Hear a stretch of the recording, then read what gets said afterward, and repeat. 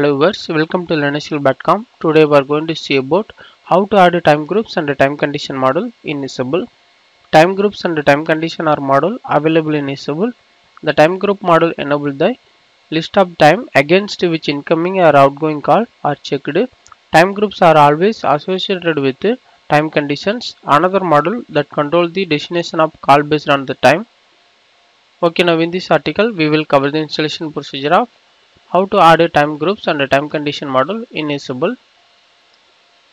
Now here it will show on my Issabel admin dashboard. Here we have to choose the PBX. Then here we have to choose the PBX configuration.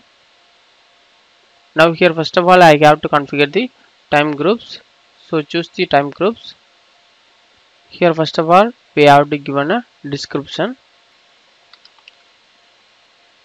Then here we have to choose the starting time.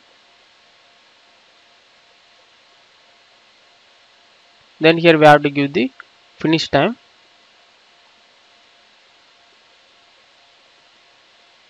Then here we have to choose the weekly starting day. Then we have to choose the end of the day. Then here we have to choose the monthly starting day then also choose the monthly end of the day. Then here we have to choose the starting of month. Then end of month. Then after filling the details we have to click on the submit. Now here time group module has been successfully created. Then we have to choose the time conditions here first of all we have to give a uh, time condition name.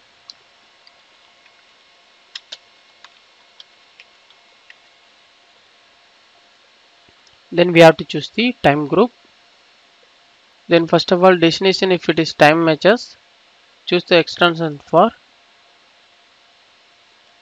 101 or else destination if it is does not match choose the extension for 102 then we have to click on the submit now time condition model has been successfully created and also activated time group thus we have seen how to add a time group and a time condition model in Issabel. Thanks for watching this video. Please subscribe to our YouTube channel Linuxhelp. If you still need more video, visit www.linuxhelp.com. For any queries to mail support at linuxhelp.com.